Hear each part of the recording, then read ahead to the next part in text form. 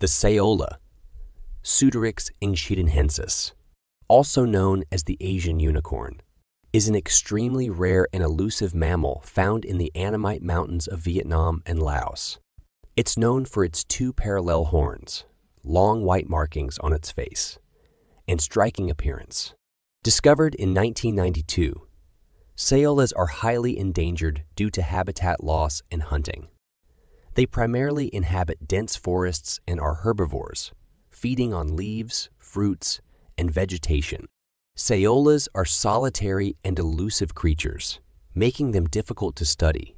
Conservation efforts are crucial to protect these unique animals and preserve their habitat for future generations.